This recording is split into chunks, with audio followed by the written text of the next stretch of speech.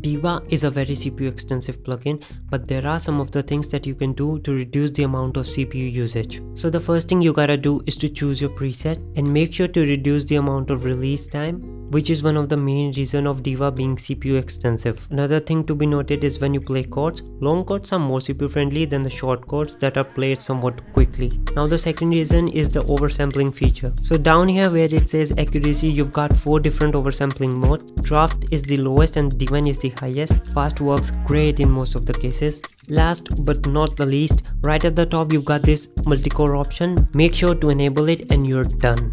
If you really like this video, make sure to subscribe to my channel for more videos like this. Till then, peace.